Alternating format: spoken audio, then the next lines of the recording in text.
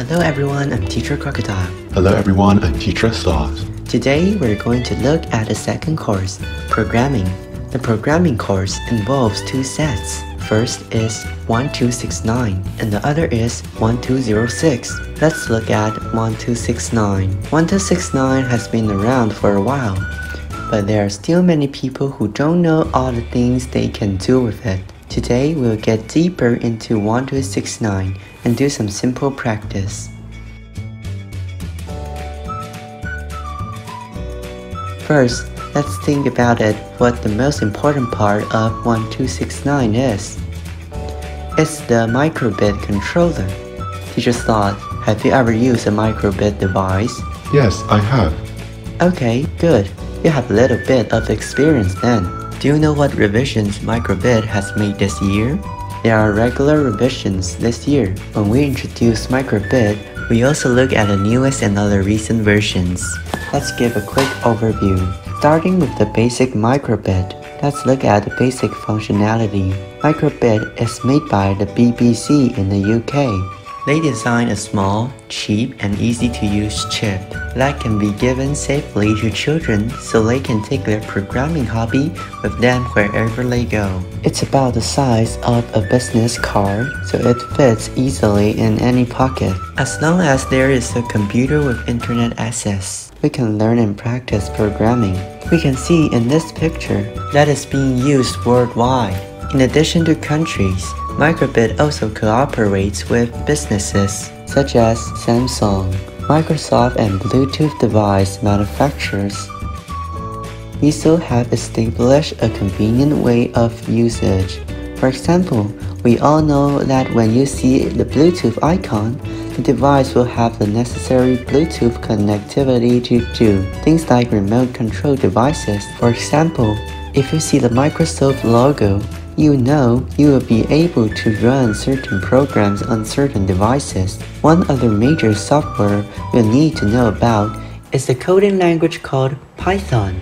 Python is a coding language that has many graphical interfaces developed for it. This makes it easy to learn and if you want to, you can use Python directly and skip the graphical part. So, why is Microbit good for learning programming? Well, it cooperates with many companies and it's frequently updated. Here we know the version of this particular microbit board has been updated from 1.5 to 2.0. The latest update has brought some improved functions, but before we get to that, let's look at the basic functions. It has 25 LEDs arranged in a 5x5 grid. If you have seen the microbit board before, you know there are 25 dots on the front. In addition to the 25 LEDs, there are two buttons, A and B. Let's look at a picture of the microbit. There are other pins that can connect other devices.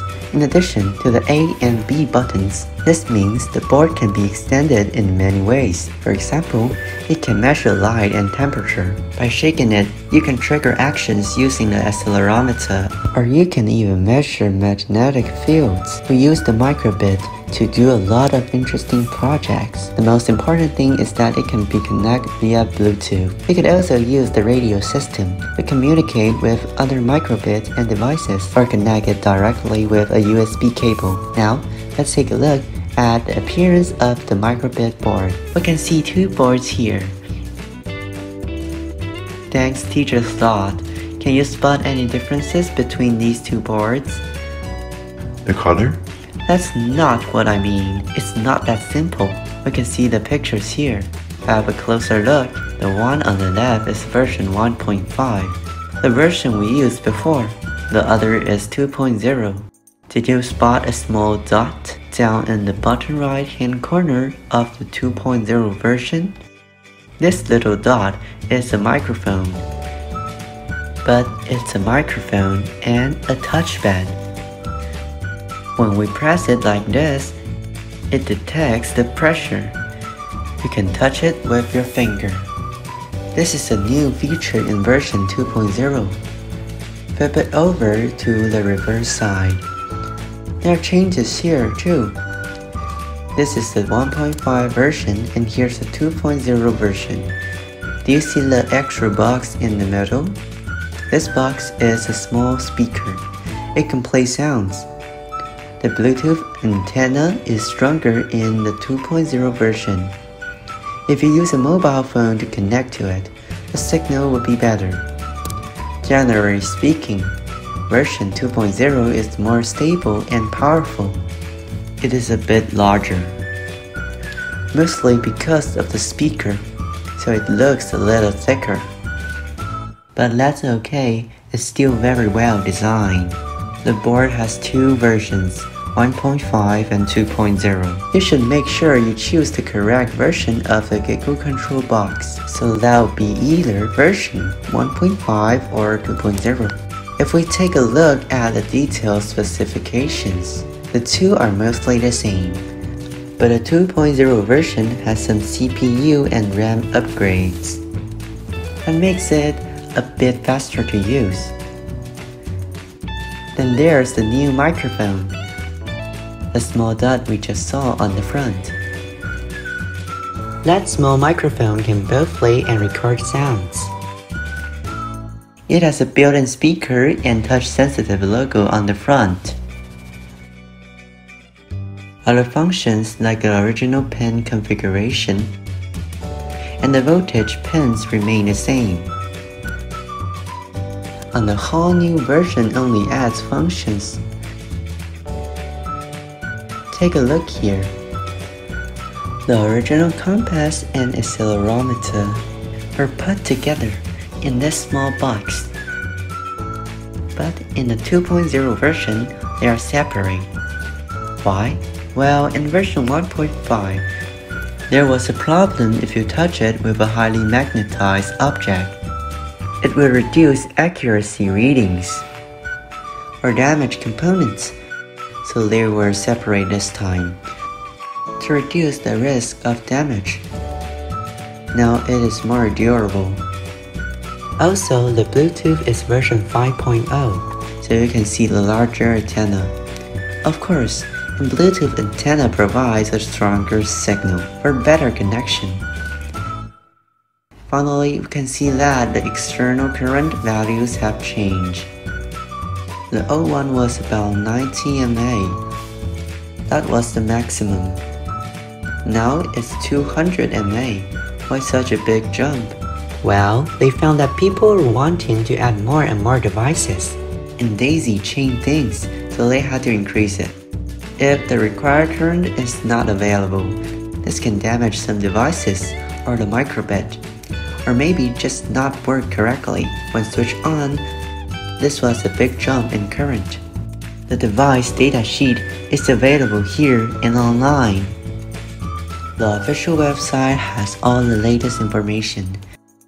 Here's the table as a reference for you. Next, let's go deeper to see what happens when microbit is combined with Gigo's main control box. To clarify, the Gigo Control Box has two versions that pair with the two microbit versions, 1.5 and 2.0. We can first think about the advantages of combining the Gigo Control Box and the board. In fact, there are three advantages shown on the slide. The first is safe and foolproof. Because the main function of combining Gigo Control Box with the microbit board is to prevent children from touching the board directly. Make sure children not touch microbit board. Why is that? The children's hands may be dirty, wet, or greasy, and these things can build up over time on the board and cause issues, maybe rusting or short circuits. So, after the board is in the Gigo control box, children can use it that way. So the microbit doesn't get damaged. This can greatly increase the lifespan of the microbit board. The part of foolproof is that there are many connectors on the board, and if you never used the microbit before, it can be a bit confusing. But you'd be afraid to connect the pins manually. I would. If I did it wrong, I may damage the chip. Yes, so this way it can't happen. So we found a way to prevent this. Thus, in the Gigo control box, all the pins are pre-wired correctly. Children can't use the wrong holes or connectors and just need to follow the instruction manual The control box has preset positions clearly marked. This helps children install everything correctly. It's also easier to extend the functionality. As we mentioned earlier, some people like to add a lot of devices, like an angle servo motor or motors with LED lights. After children add it to their device, they will have to wire it and connect the wires directly to the board. It's a bit bothersome. So we designed this as we want children to get the most out of their microbit. This way it becomes more like a plug and play device. Just connect the pins and start using it immediately. Of course, we still need to write the programs, but the control box still makes it easier. For expanding it, it becomes much easier. This is the second advantage. The last advantage is the wide range of components you can add. What are the components mentioned here? They are parts of building blocks because we use these to assemble the devices. Then there's the motors and the LED lighting. These really make it look stylish. To make a traffic light model, we may only need a few components. But with the LED light, we can make it seem real. The supporting elements here is Gigo's huge range of components. Now, the blocks can be used directly with the microbit. Do you remember the three advantages? Okay, next let's take a look at the differences in appearance of Gigo control boxes. The lid of the 1.5 version is quite full. By full, I mean that it covers the whole board. This is the 1.5 version whereas the 2.0 version can be put in entirely. That will make some functions unavailable. This is why you have to have the right control box for your microbit version. If you are not sure, please check with your sales representative. Which version do you want to buy? Which version do you need? Just let us know. We're happy to answer questions. The 2.0 version is next. The shell on the design is concave. We can put our fingers in there.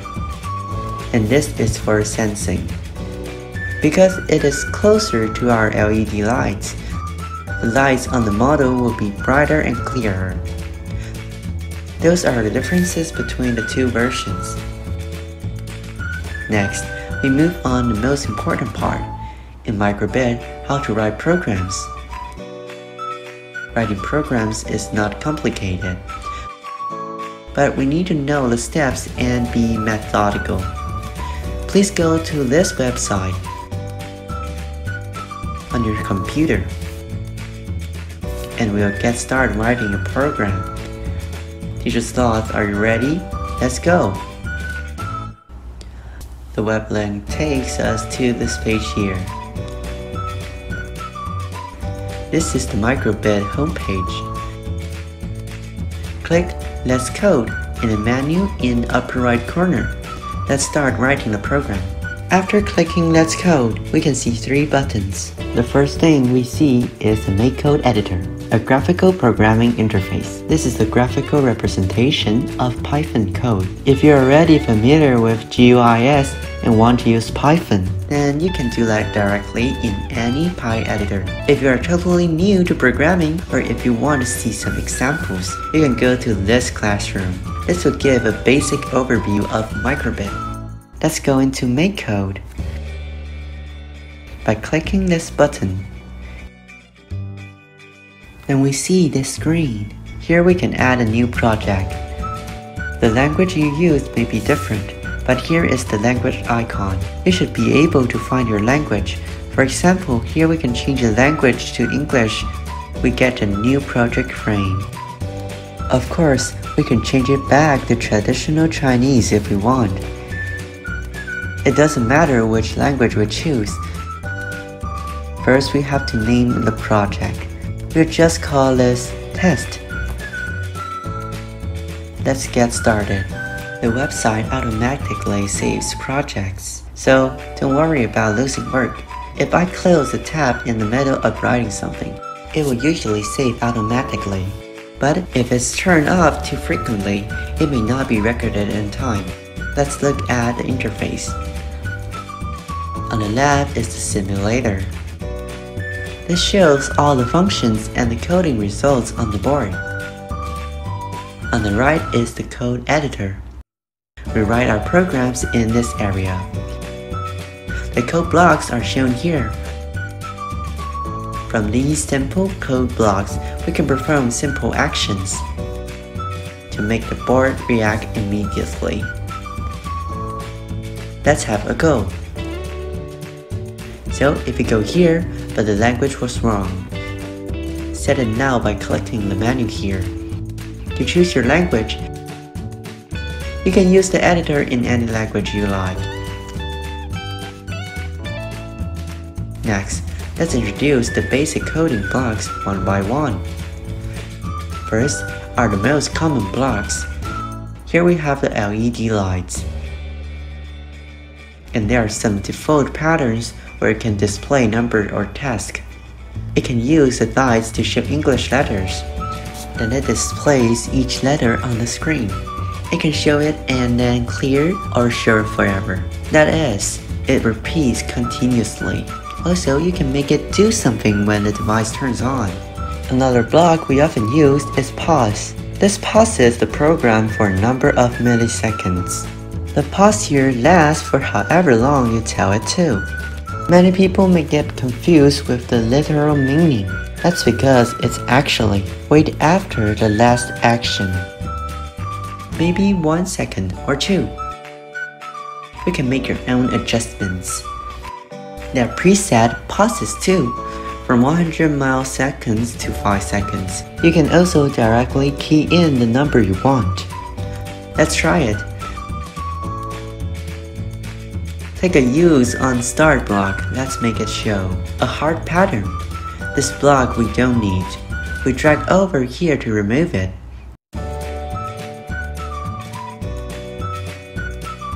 Now it shows the heart pattern when it turns on. You can see that the simulator shows you what happens. So there's the heart pattern. I turn it on again. It shows it again. If I change it to another pattern, like the giraffe and we restart it, it shows the giraffe. These are some basic functions. We will go much further, don't worry. Next, we'll look at the input functions. There are input blocks here where we can set thresholds. This is the biggest difference here between 1.5 and 2.0. 2.0 have the sound effect and the logo functions. Press on the logo where I showed you earlier. This is the logo and the speaker. We can guide children through lots of activities with this. Another common input functions is the buttons. Here we drag the button block to the editor area. There are three combinations A, B, and A plus B. I'll choose A plus B for this block, and it makes its own button here, below the B button. In fact, we don't need to use this extra button. We just press the left and right buttons together. Let's try it. What do we want it to do? Okay, when it starts, say hello. Then when we press the A button, Hmm, teacher Sloth, which pattern do you prefer? I like the smiley face.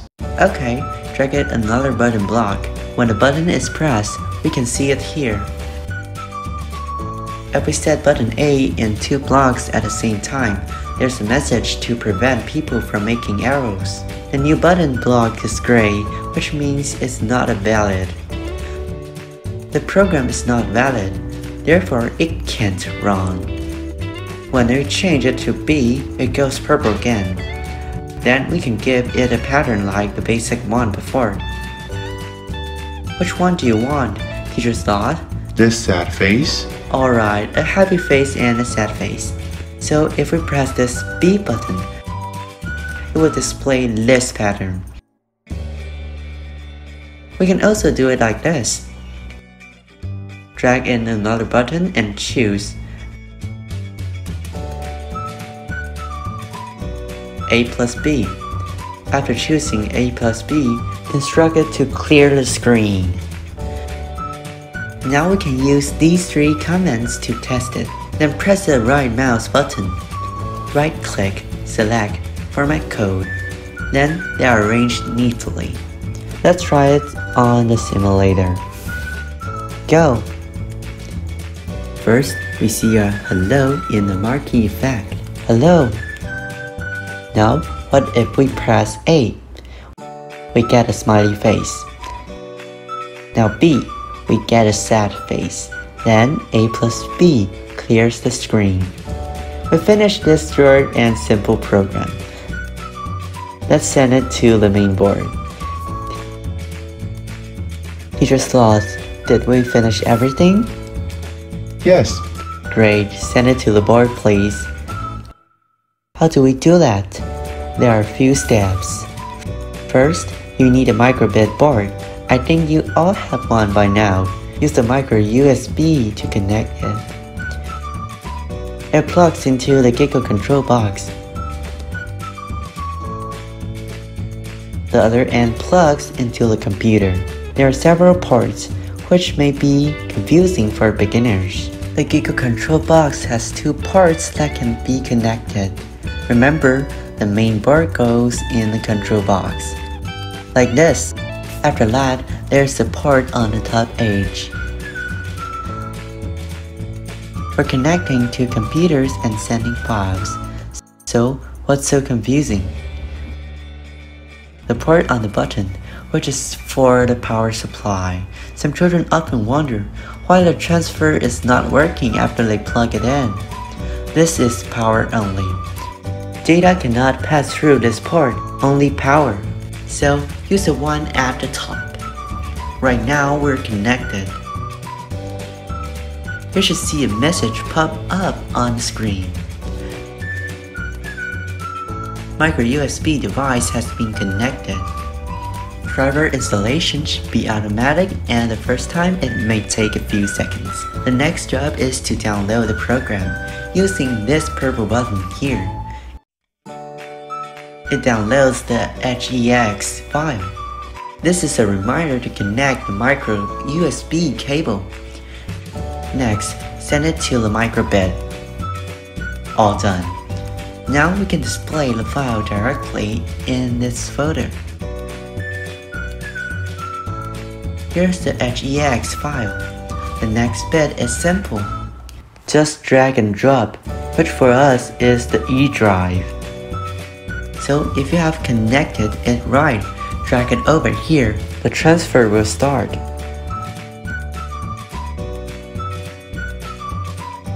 And 100% means it has completed.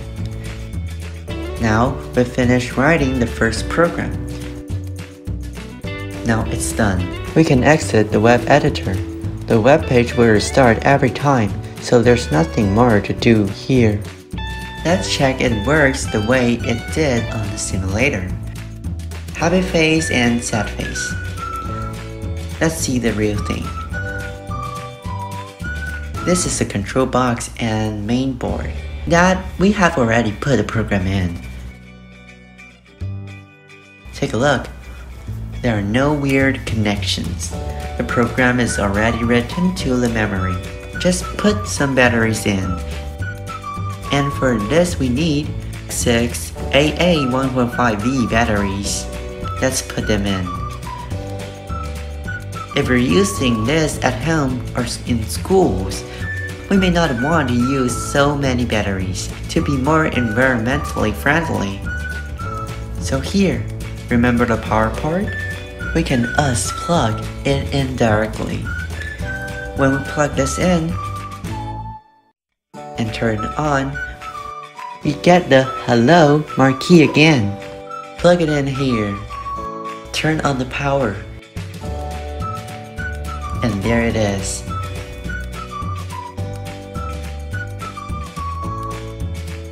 If I press A, I get the happy face. Button B gets the sad face. Both together clears the screen. These are some basic actions, but we can build on a basic program and expand it with other functions. The more you want to do though, the more power you need. A lot depends on the way the power is provided. You can use batteries or main power. Either is fine. Let's do some more programming. Here's Sloth. After watching this demonstration, do you feel like you understand microbit programming? Yes, a bit. But write the programs and then write it. And then send it to the device. Then use the control box to translate that into actual usable action. You know, even if children don't have a microbit board, they can still access the web page and learn the basic concept first. We can add more hardware as we go along. Let's go back and see more coding blocks. They are quite intuitive, and we should be able to guess at what most of them do. Music means making a noise, or at least in some sense, right? You can let it sing a song or write your own. Here are all the music blocks. Version 2.0 has some new coding blocks for sound effects. If you're on the 1.5 version, then you can't use all the 2.0 functions so make sure you match up the versions correctly. If you are using the 2.0 version, then all the code blocks become available. The LED block controls the lights, like we saw before. That's the LED lights. Children often don't know what X and Y mean. Younger children won't have covered Cartesian coordinate systems. But we can still use it fairly easy by dragging in the plot XY block. Where's 0, 0? Use your mouse. The point to a position on the main board.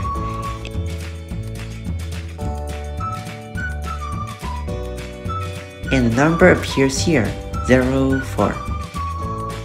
0, 3, 0, 2, 0, 1, 0, 0. When we press A, the upper left corner lights up because its coordinate position is 0, 0. Let's try to verify it. Click play to run the program and there's our hello marquee. Then press A. Now only this light comes up. And you can make adjustments using the LED block.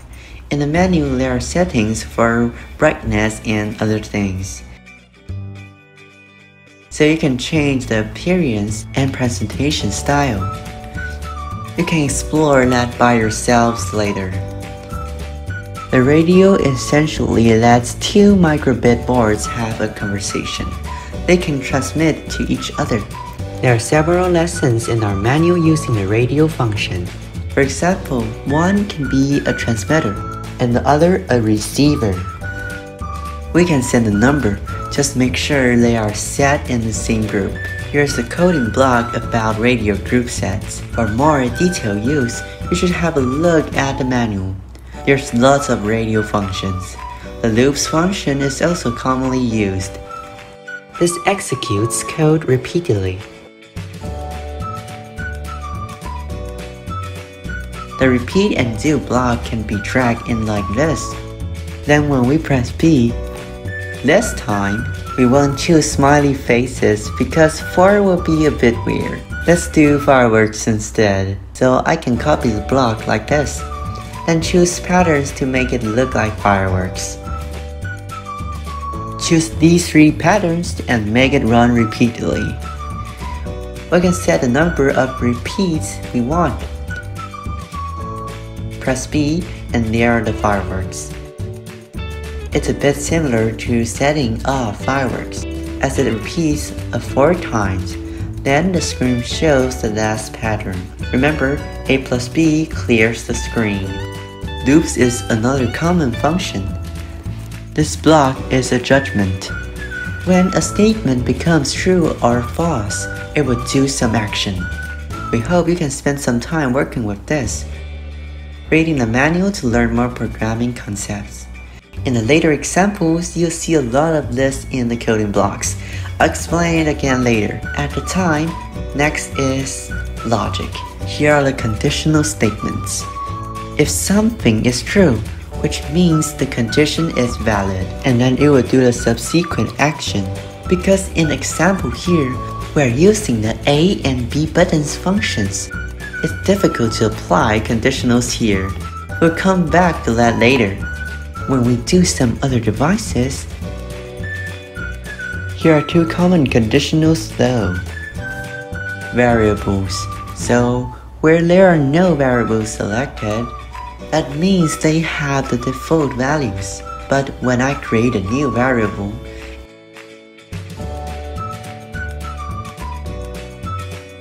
and call it test, we can add three new blocks, and the variables can change according to the settings. It could be 0 or 1. This is usually used for force sensors, touch sensors or light sensors, or something else. For variables, we will need to use some math like addition, subtraction, multiplication, and division. For controlling line tracing vehicles or navigating complex routes, this is its basic function. If that's not enough for you, here's an advanced topic. Click here. We have more coding blocks. And we can even choose game. This needs to match some special variables to work. These red ones are variables. When I add them in like this, it's just another application of variables. This is a part we seldom use. There are also tags that we rarely use. If you want to learn more, you can go to Microbit official website to learn those applications. Here and now, we'll focus on the pins. These will be used for infrared sensing. We can also use the extension type. If we need to extend the motors, we'll need the pins to connect them. This is really the hardware side. When we are using the 1269 GigaSet, it is also really an introduction to how microbit works. It really focuses on electromechanical integration. By integrating machinery and electronics together, children can learn more comprehensively. If children want to go deeper with these programs, there are abundant materials here and also online Children will be able to learn, explore, and create different results. Next, let's look at the hardware extensions. This is the pin configuration. Pin configuration is important. In this set, there are two planetary gearboxes and one servo motor. There are force sensors and line follower sensors. How can these components be applied? First, you have to get the pins in correctly. They cannot be used in a way that overlaps. What I mean by that is that if you see the numbers here, P stands for pin, pin 16 and pin 15, being used on this E-jack means I cannot put the other pin there. Remember, when you want to connect many different external components, the pin and jack have to be available. If it is already being used, it won't work well. So there's a number and position for each connection, and each function is different. Here we can see four numbers on the top of the jack hole. 15, 16, or something else. Like here it says 5V, which is the power supply. The GND is the ground wire, but these are not important for us. We want to look at these two numbers. The number on the upper left means that it can read signals. So what is a read signal? That's when I do something to a sensor and the sensor sends back a value. This process is reading signals. If we press down the force sensor or release it, the force sensor will send back its condition to microbit board. This one on the lower left is the write pin. What is the write signal? For example, If I decide to turn this light on or off, that is called a write action. The lower left is to control the output command, i.e. turn the light on. Next, some of them like the DTM motor will require an input from two pins. If you want to use two pins, we use the digital write pin because pin 15 can control the steering.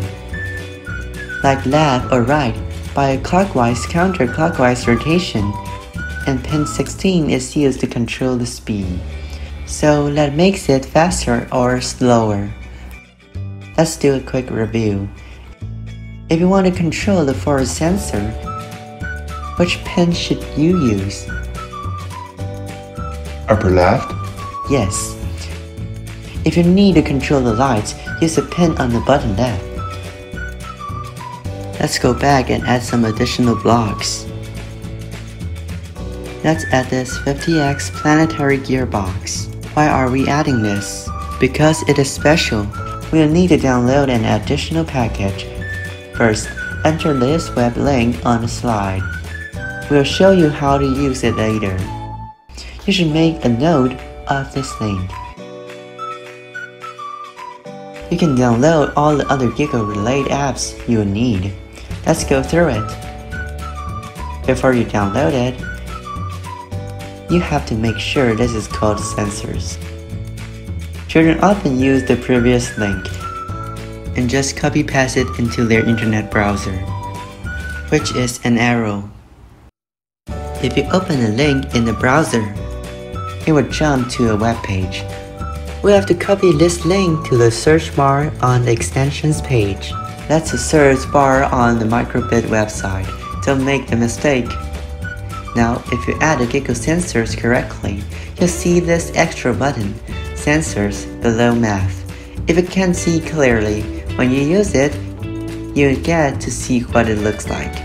Okay, we are going to demonstrate how to download the 50X Planetary Gearbox package. Let's get started. Teacher Sloth, we are going to show you all how to add a sensor in the menu. In this editor, we have added the sensors before. So I have to open another new page. That way, you can follow along. First, create a new project.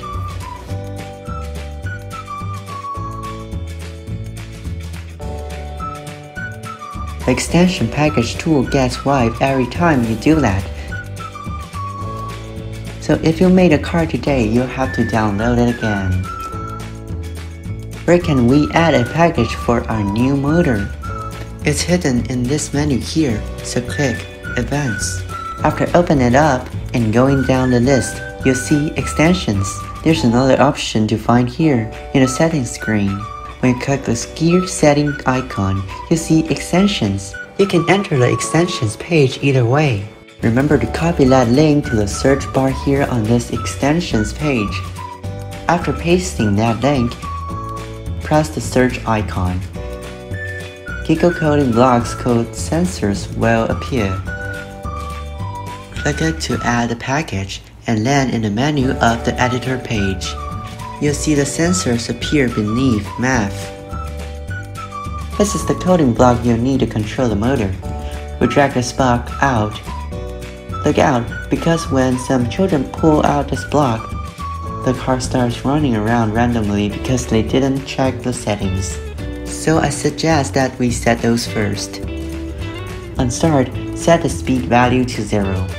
The motor direction can be 0 or 1, so what does that mean? Take a look at the next slide. The number 1 means turning clockwise.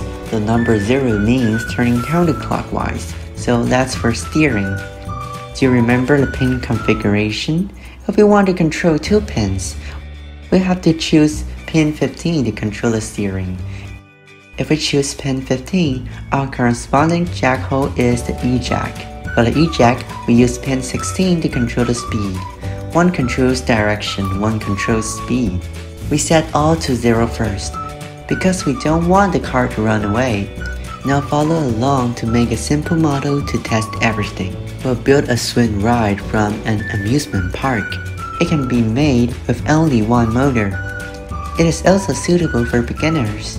Then we just have to drag a coding block from input, so that when the button A is pressed, it will start the motor. In the motor block, set pin 15 and pin 16 as mentioned. Because they share the same pins, it's controlled by the same block. Steering can be set to 0 or 1. Power should be low at first. Try 60 to make a turn for a few seconds. Drag a coding block from Basic. Set a pulse timer to 5000 ms to run the motor for 5 seconds. After the motor runs for 5 seconds, it stops. Now copy the block below. Okay, now it can stop. In this case, we can send it to the board. We'll make a simple swing ride. Are we going to start building soon? Yes, we just put this on the board first. In that way, it will work as soon as the construction part is done. It'll be an interesting swing ride. Let's go. To make sure it can run the program, we need a motor that matches. The motor is the core part of the model. We just say that we are going to make a swing ride. This motor is the main structure. Let's add the frames to the motor. It can be combined with our building blocks. After this, we can connect other long frames. Just like this, when we make tall towers, it is stronger this way. Right, make it stable. After the assembly, put it on the base grid. Next, we have to make a swing part. Let's do the rotating turntable by using this gear and axle. Put it on. Make sure it spins okay. Then on each side, we need to add the arms.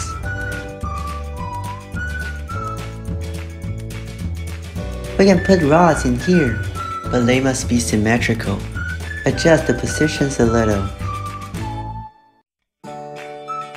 and use the second hole of the rod.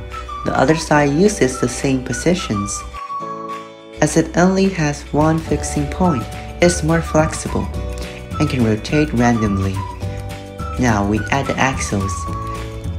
And after another axle is installed, we press the rod to make it the same on either side. The rest is making the ride seats. Here we use an axle connector.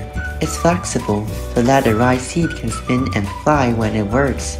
Install a rod here and on the other side. Eventually, we make the ride seat. I'll just use this to get a general shape.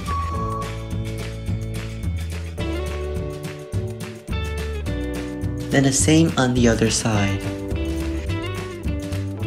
Make a shape like this.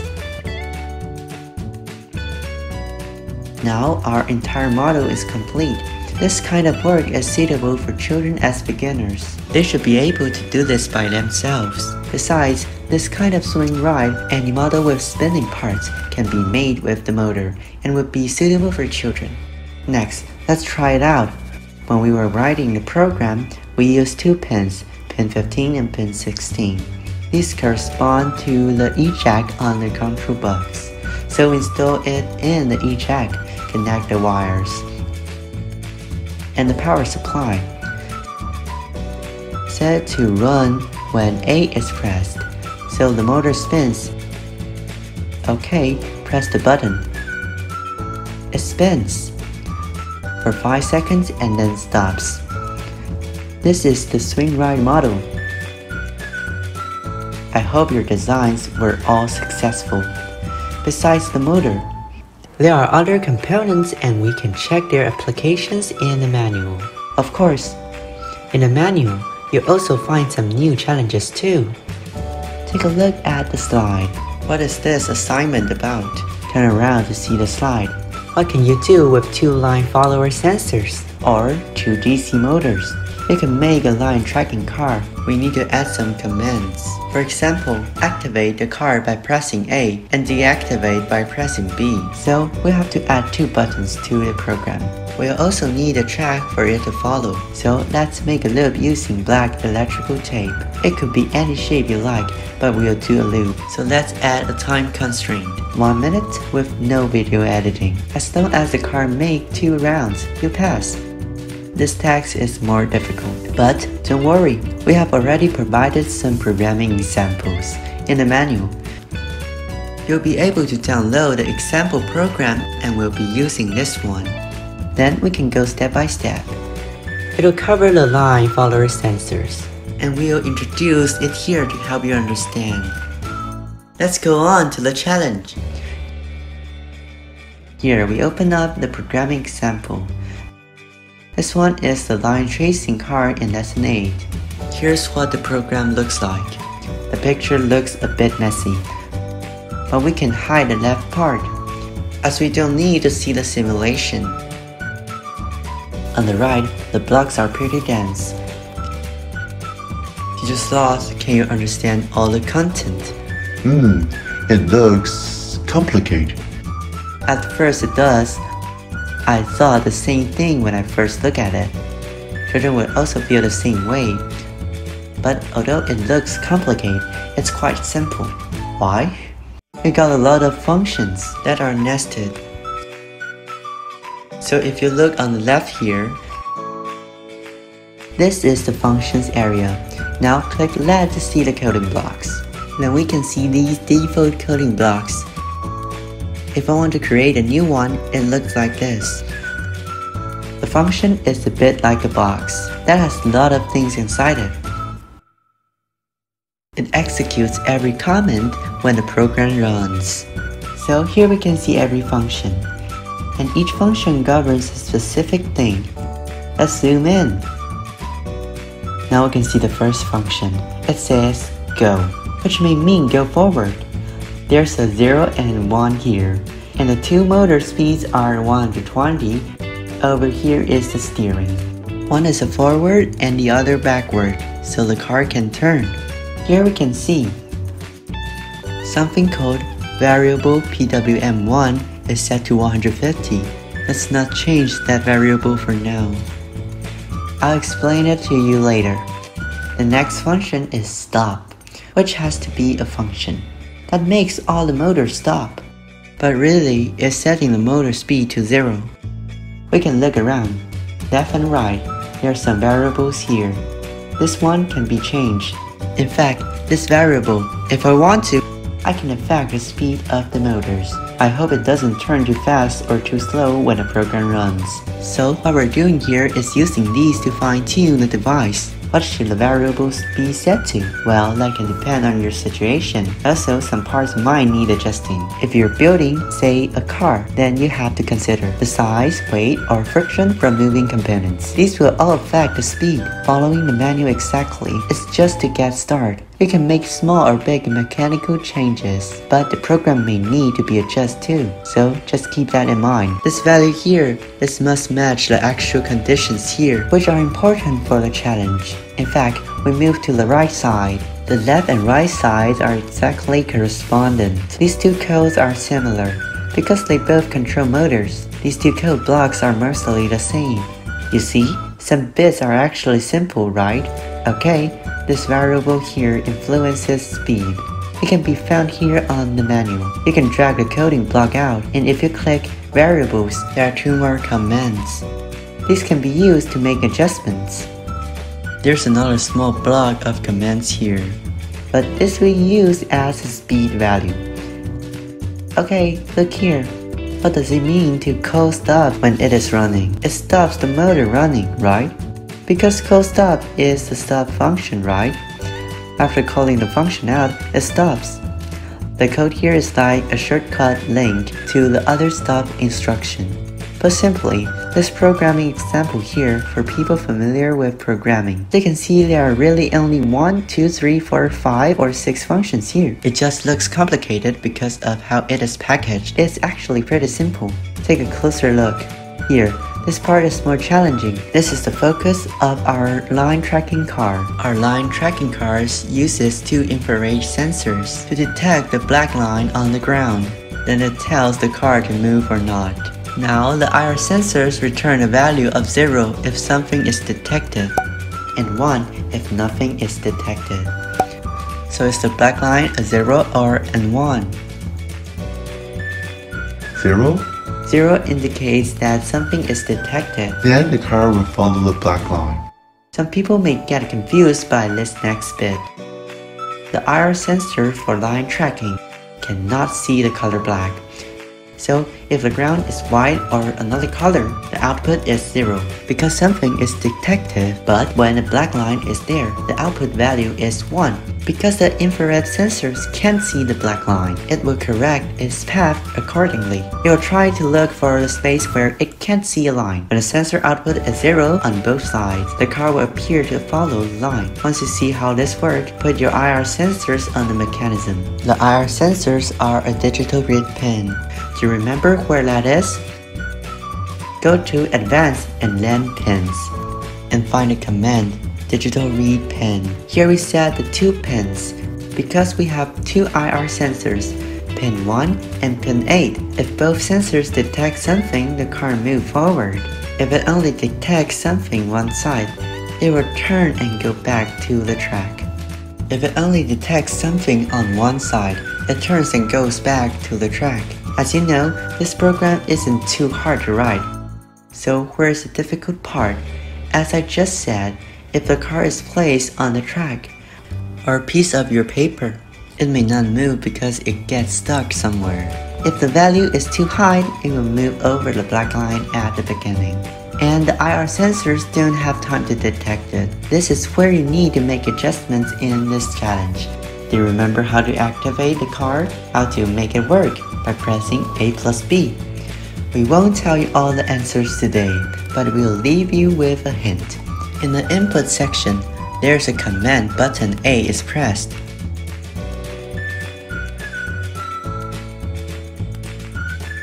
So that when button A is pressed, something also happens when button B is pressed. If we drag this command out and put it in the editor, then we can also add a conditional logic step. If button A is pressed, then it will move when something happens. Really hope you can practice and play with this part yourself at home. So, for the line tracking card we made, we will record a video. We hope you can do a couple of loops in one minute. Let's take a look at it up close. For this task, this card should go round smoothly. You can set any shape you like, but it must be a closed loop. Press the button A to start and the button B to stop. Now I synchronize it. 3, 2, 1.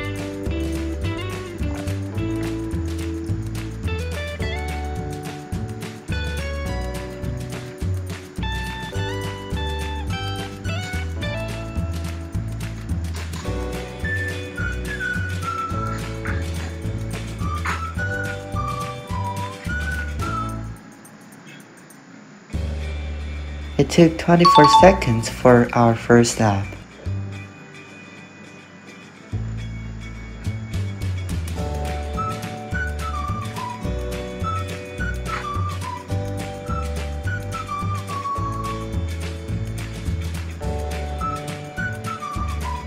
Press B to stop it when the car comes back.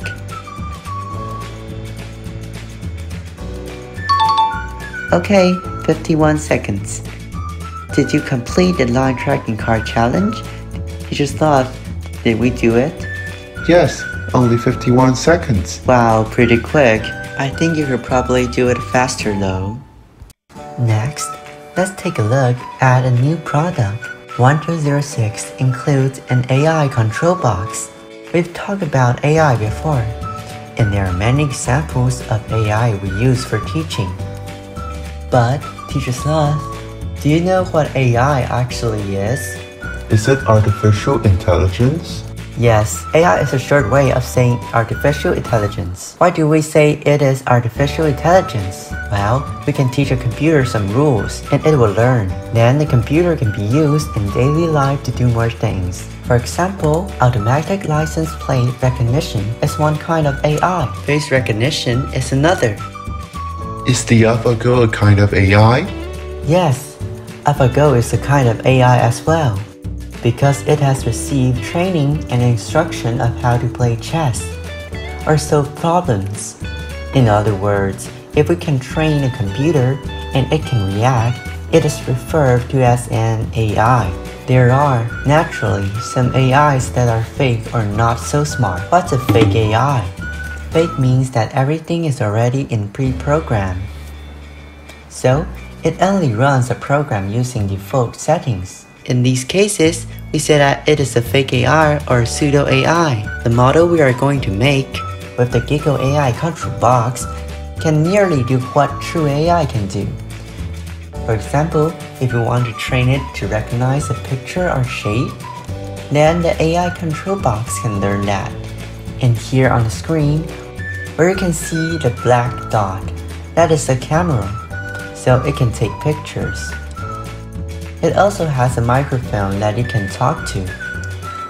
There are also speakers that you can play sound. Of all the projects we have right now, this is the most cutting edge. With this technology, now we can do many things we could not before. One thing to remember about this is that because it is more powerful, it consumes more power. And so we have to have enough 18650 batteries. There are no batteries included with this set. Let's take a look inside. What else is there except for the control box? We can see the details on the slide. Do some of these components look familiar? Microbit was using some of these parts. Let's start up here on the left. This is our planetary gearbox. It is the same motor used with the microbit set. So this motor can be used with either in the future, if you learn using microbit, then want to switch to AI, then you can still use the same motor. This is our servo motor. It can also be switched between sets. This is our IR sensor, the one used to track lines. But we can also use it for other things. This one is the force sensor, which we also used before. The special component is the 18650 lithium battery holder. This lithium battery can be used as a power bank. We can also connect it to the control box so it is the main power supply. Only the battery holder is included in the set. There's no lithium battery inside, so remember to have yours ready. Next, let's have a look at the appearance of the box. Here's the pin configuration diagram. Because some people may get confused regarding the pins, we'll go back to the microbit and 1269. There's an important concept we mentioned. Do you remember what that was? Did you notice these pin names? These are the pin numbers. But the two-point connector has different numbers here. Whether we're using the 1269 or 1206 set, all the connectors can only be used once. If you read the manual or textbook, all the sockets are staggered. So you must remember this when you are teaching classes. The same pin cannot be assigned twice. Teacher Sloth, did you remember? Please keep this in mind. Next, we have the position represented by the pins. This can be explained by the number and pin position, but there are a few places to pay attention to. For example, the B and F pins. These two, sometimes the default setting is on. So, if I use the B and F pins to install a servo motor or planetary gearbox, once it's installed, it will run as soon as it is turned on. This is because some pins are on as a default. If you want to install a motor to make the robot or model move, I suggest you use A, E, C, and G, these four pins, because it is off by default. So when it starts, it won't run by itself. If you want to use other pens, you can set the pen condition first in the program. Set it to off. From our manual or lesson plan, you can find some examples. Next, let's see how to install the battery. This battery holder is not like general power bank or regular Gigo battery holder. The main difference is that the holder is a special shape and has a unique patent for that. It needs a small tool to open it. But a coin would do just fine. Once it's open, we can put the battery in. But when we close it, the holder stays closed by itself. This makes it safe for children to use. If you don't have coins in your hand, you can find any flat object to open the battery holder. Remember to turn it on. The most important thing is this lithium battery which must be inserted the correct way around. Once you buy and insert the battery, you don't have to take it apart because you can charge it using a USB cable. You don't have to remove it and use an extra device to charge it, as long as you have the correct cable and a control box. You can use a computer or any device to do the charging. Next, let's take a look at the Web AI programming interface. This page is the page after you log in. It is actually similar to the microbit editor, only slightly different. I'll show you some simple ways to operate it. First, enter the screen. The one at the beginning has a URL link on the side you can navigate to this page. And when you click it for the first time, you log in with your Gmail account. Or you can register a new account. You can log into this page as long as you are logged in. Now we can see these programming blocks here. If you want to change the language of these blocks, select More from here. and click Language and look for the English version. If you don't understand Chinese, remember you can change the language here. So once you've chosen your language, and there's no problem there, you'll see most of the functions are familiar. For example, here's basic, variables over here, and logic, which are the most common ones, like if clause or if some numerical calculations are required. The loops function is here. Math. Here is for addition, subtraction, multiplication, and division. Here we have text. And this is interesting because the device has a better screen. So if we enter some text, it can be displayed directly on the screen. This is rarely used because it's for drawing or the mathematical plots and diagrams. Then there's functions, which we are familiar with. First, you grab a block, then put all the programming blocks in it. Then it all condenses into one new block. These basic functions are very similar to the ones we learned before. The fun place is in the advanced blocks. Click this to open the panel. File read and write is kept here. We can let a device read some pictures and also put things up on the screen. If you want to use this function, it can take pictures but also analyze pictures on an SD card. If you want to know more about this, there are some good examples in the manual. The QR code scanner also has some example applications in the manual, like where it scans a QR code. Then after that, execute commands that are in the QR code. Next is the color tracking function. So pick the color you want to track, or a face or picture to detect. All these things can be set by us. Of course, some face information may not be available to the device if people are wearing masks. So some time may need to be spent fixing the variables. Or if we don't provide enough training images, it won't identify things properly. If the library volume is sufficient however, it can work very well. Image classification is mostly used to distinguish some images so that it can function as the real AI does. Next here is the object tracker. After we train the AI with a model, it can chase this model and run everywhere after it. Or it can swivel and adjust the orientation so the camera always faces it. These are fairly common AI functions. One example of object tracking is someone is running a red light or doing something illegal we can use this object tracker Detect is to detect the keyboard or other external commands. Underneath Advanced, we can see the Web AI panel, which functions have been added. First, in the board, which for us is the most important part. In Web AI on each device, there is a serial number on each control box. You must connect the control box with the corresponding number. Only then will it be fully usable. So, when you read a sample file, the most important thing is to change this number. Change it to the number you find on your control box, then the programs will all run correctly.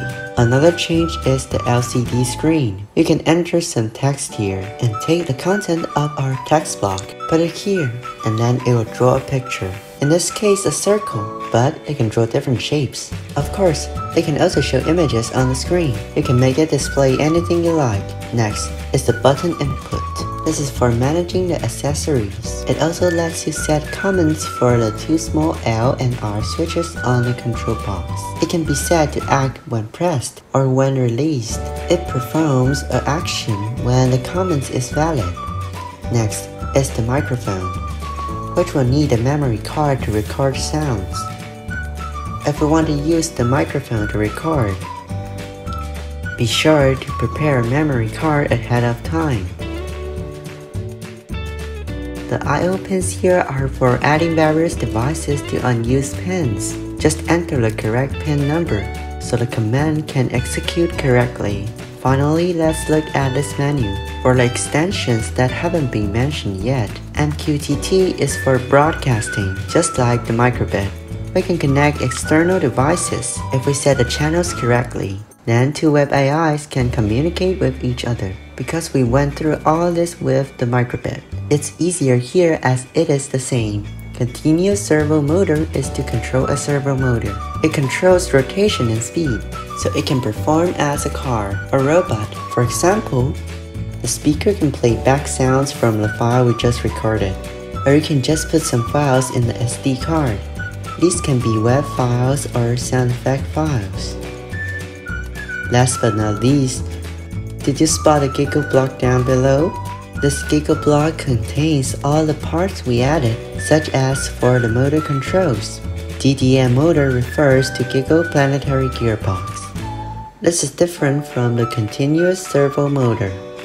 If you buy a continuous servo motor, it is usually a square. This is similar to a product from the Gigo set. It's the 1247 set. I don't know if you still remember it. 1247 has a continuous servo motor. Its speed is slower, but the DDM motor used here is for a planetary gearbox, so its maximum speed is higher. The IR sensor works the same way as the one we looked at earlier, the line sensor we saw on the previous slide. The bottom block is for the orange connector of the force sensor. The orange connector is a switch that can be pressed as an external switch. Finally, we come to the LED lights in this set, and we have 4 in total. You can add as many code control blocks as you like. This example here only shows the basic functions. The blocks we will use most often are the Gigo block and basic block. Sometimes we use advanced functions. For example, we also use image classification. After introducing these blocks, I think you already have a fair grasp of programming. For some of the later challenges, you can load a sample file directly. Before we get to that, let me show you how to train an AI. First, we need a picture set, so it knows what to look for. It has to learn to discriminate. Let's go on to the next part. We have to connect the main control box first. For this, we'll need to connect to the Wi-Fi. We need a Wi-Fi connection to send the files back and forth. Modify or edit commands.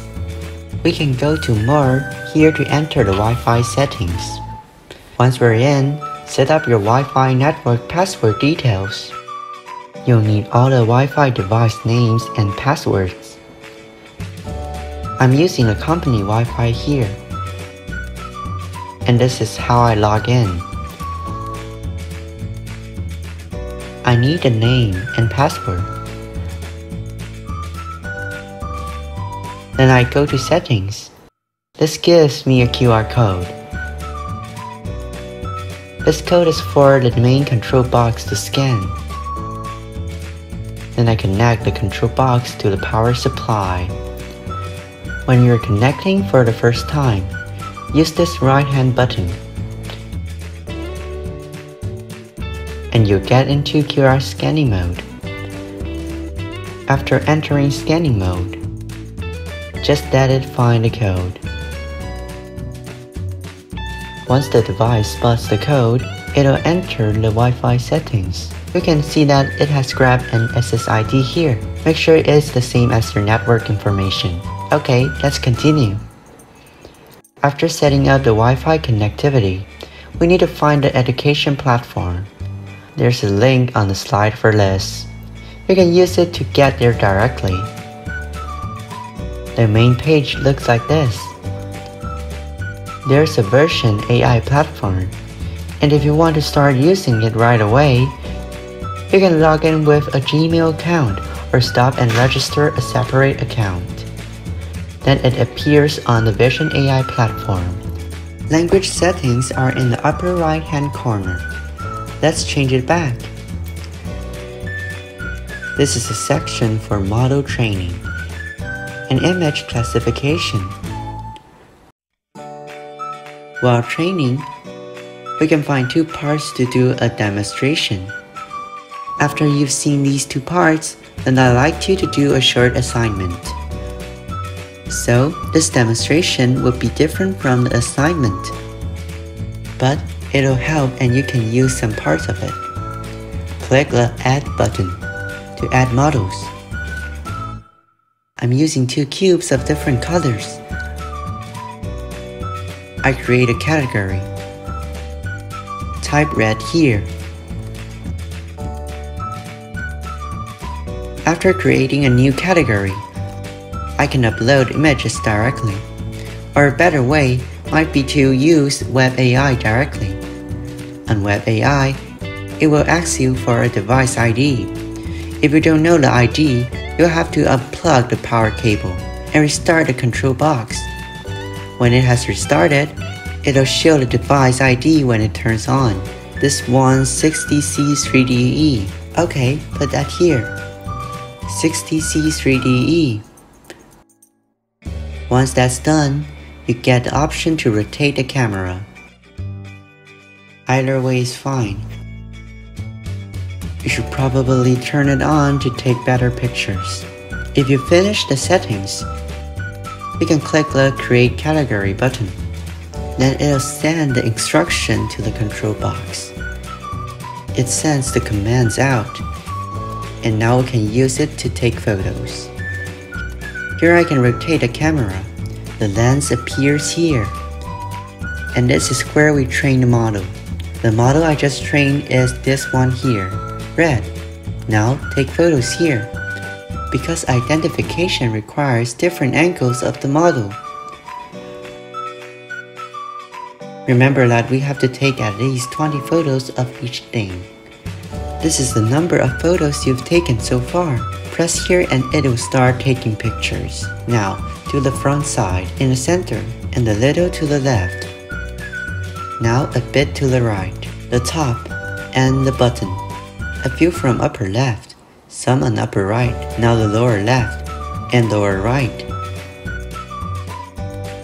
The best strategy is to just keep taking pictures randomly.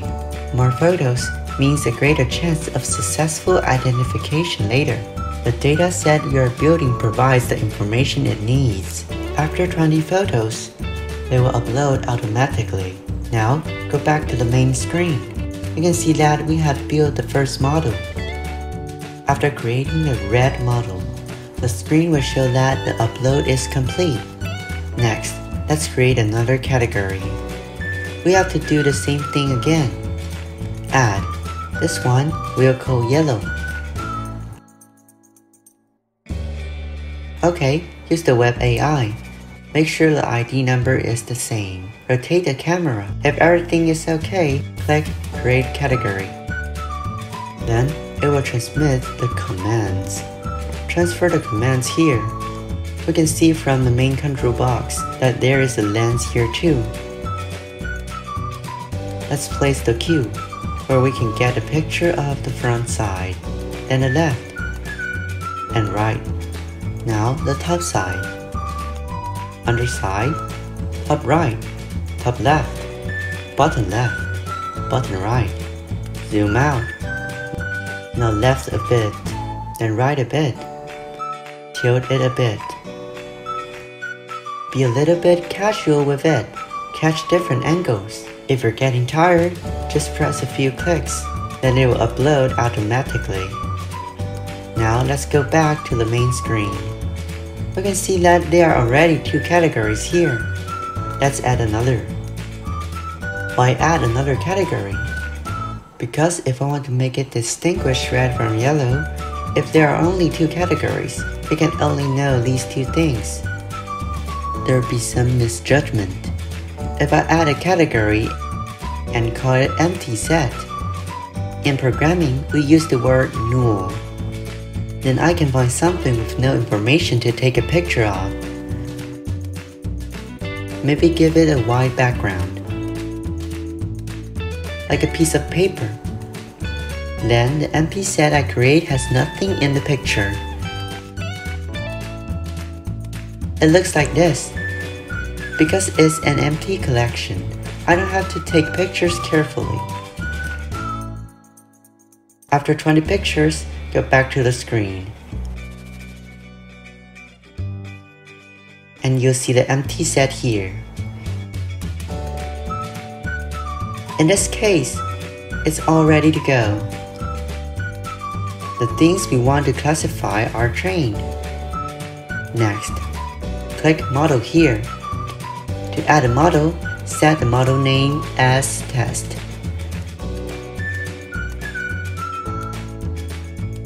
After that, over here, we use select category.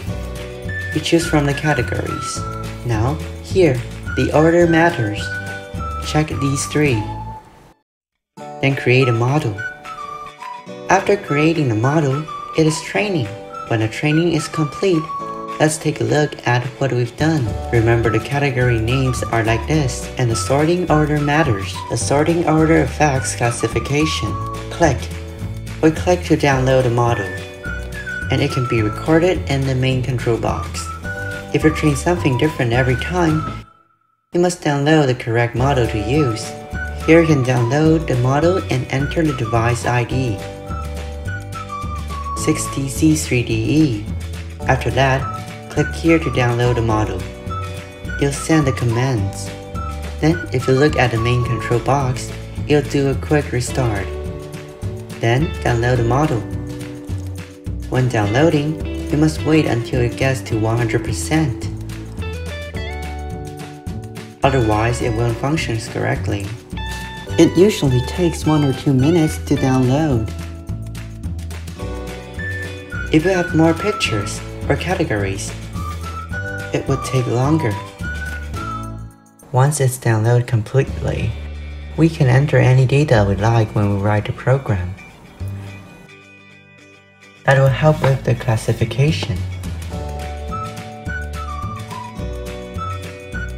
The time taken is shown below. So far it has taken about 70 seconds, but it should be done within about 2 minutes.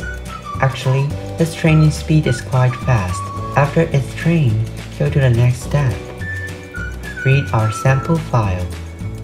Modify a few parameters, and you can see the variations. Hit OK to confirm. And we can write a program for classification.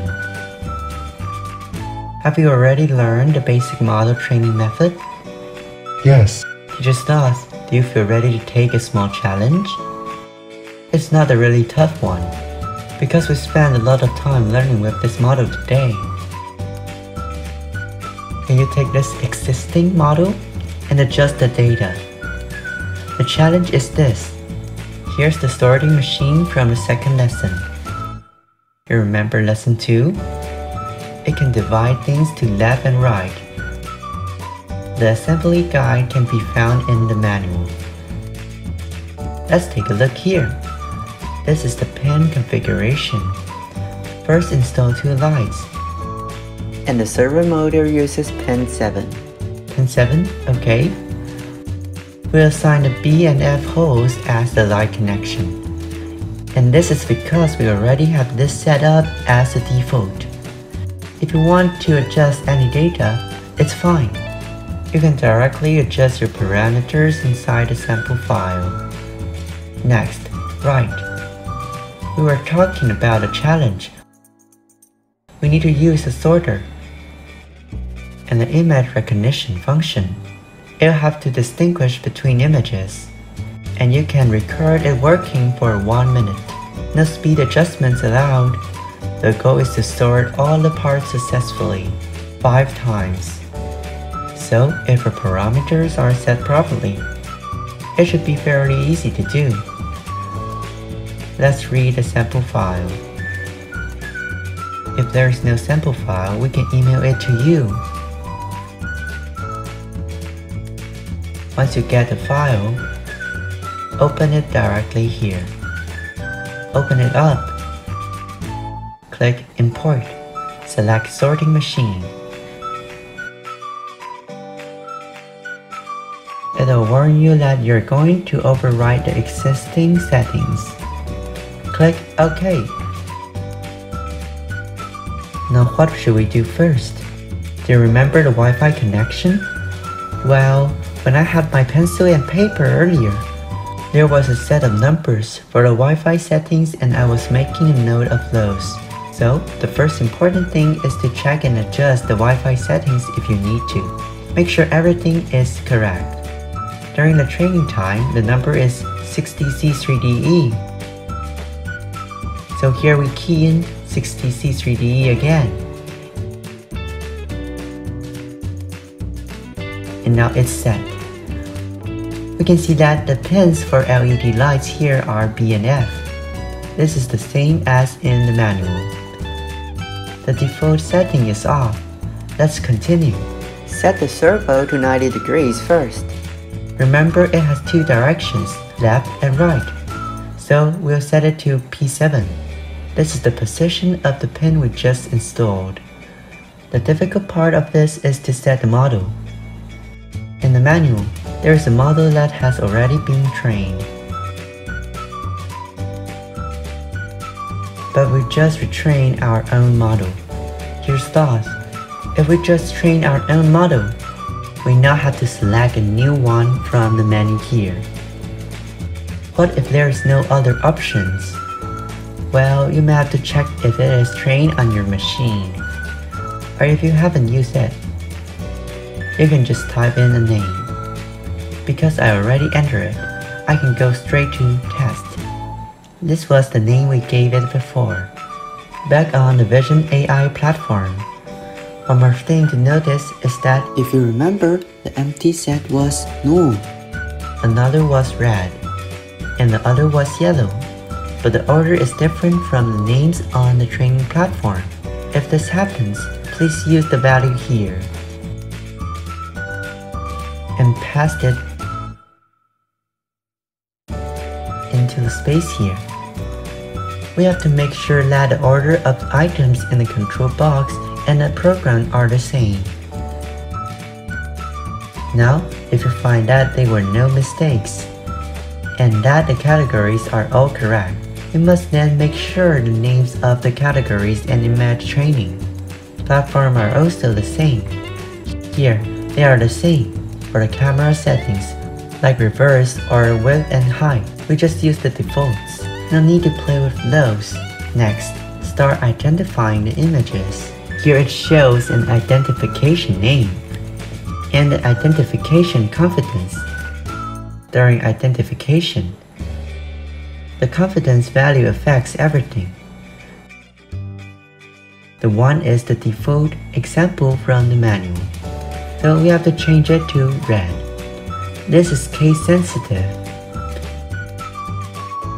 If you use lowercase, all the letters here should be lowercase. For higher success rate, here we key in red. The most important thing is the confidence level. If the confidence value is set too low, identification may be incorrect. It cannot recognize left from right or it will put it in the wrong category. How do we check this confidence level? We'll do that through the main control box later. We change the number 5 here to yellow.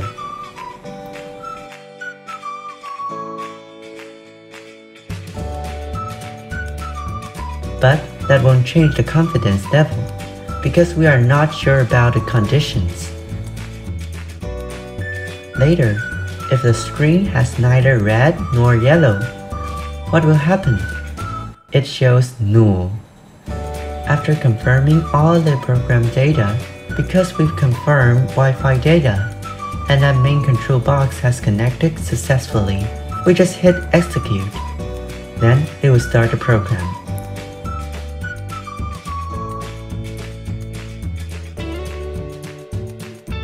You send it directly to the main control box. Next, let's take a look at the screen on the main control box. After it loads the program, it will recognize that there are no objects in front of it. So it'll show the new screen. Now let's adjust some parameters. During the process of fine-tuning the parameters, the background can end up affecting the values. The data settings you see now are suited to my current environment. If you do the assignment later, please adjust it for your own environment.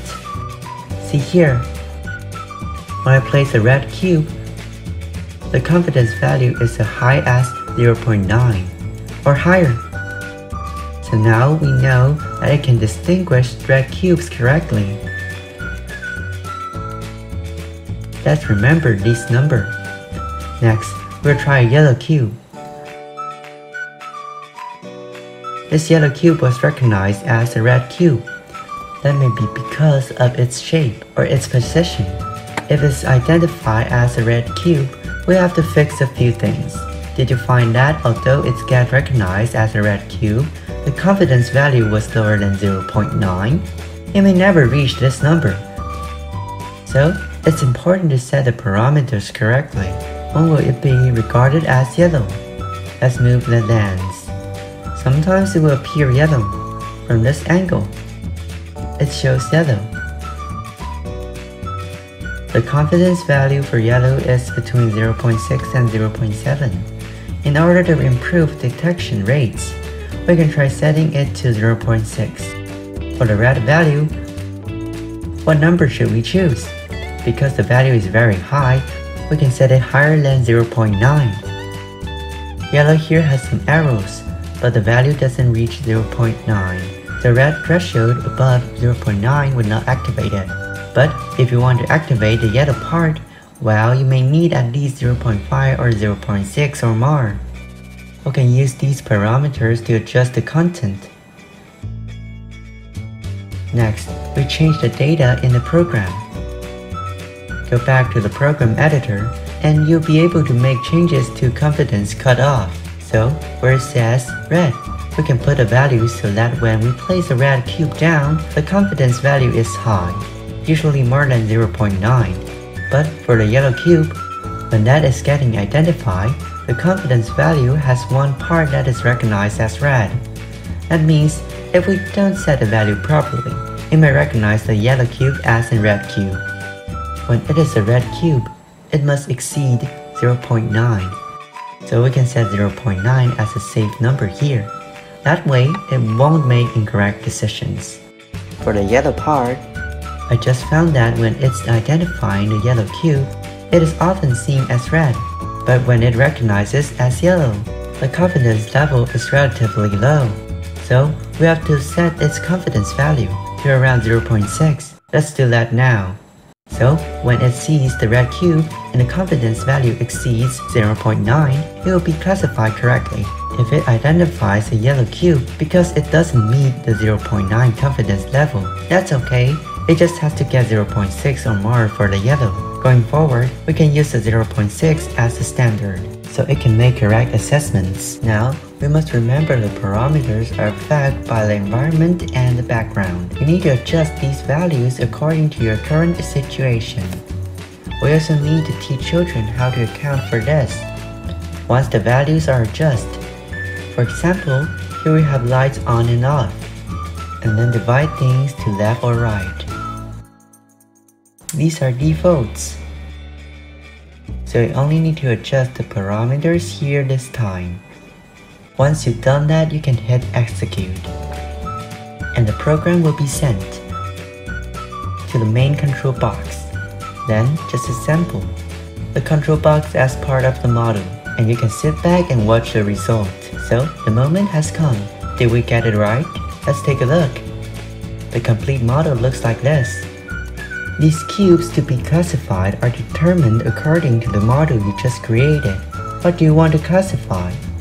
Here we use a simple example. I use red here and yellow there. After identification, the respective light will turn on. And for this challenge, we only need to sort the blocks 5 times successfully. Let's take a look at the first round. Success. Second time. Success. Third time. We need to adjust the position a bit. Success. Fourth time. Because its lens is here, it needs to be aimed. One more time and...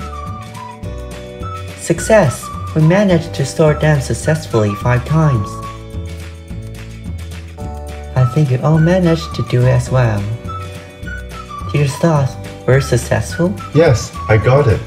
Really? I adjust several times. Well, everyone needs to adjust it. This particular control box in AI application doesn't really emphasize the mechanical part so much. It's more about how to understand, manage, and apply data. What part do we need to pay attention to when we write programs? The program focuses on the logical part, that is how you arrange your program the sequence and thresholds to determine what it'll do. The model is designed to be used just like a real sorting machine. If you try to use different shapes or different objects, can you still make it function? This course has focused on the exploration of programming and AI. We sincerely hope that children can discover more possibilities from the components they have and the programming possibilities. We hope they find it fun, exciting, and interesting. Children will be able to begin with these examples, use them in various ways, but then begin to wonder, hmm, I wonder if I could use it like this. What about facial recognition doorbells, or facial recognition for anything? As long as we encourage children to explore every function and push the device to its limit, they'll really get the most from the learning experience. This brings our programming course to an end. Next, we'll be bringing you into the wonderful world of GreenMac.